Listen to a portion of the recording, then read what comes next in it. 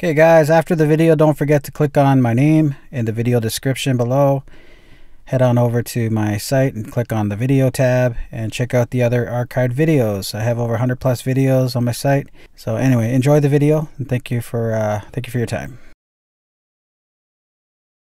Okay guys, if you're experiencing uh, mouse cursor lag on your screen like this, this might help you out especially uh, if you're running wireless mouse and keyboard and you're using a USB receiver like this one. So anyway, this is where my setup is. I'm about 15 feet from the entertainment unit to sit on the couch here. And uh, before I used to have a lot of mouse lag.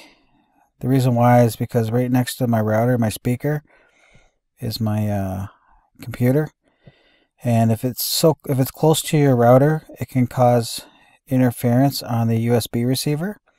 So I suggest you guys go out and buy a long USB cable. Um, this one's I think 12 plus feet.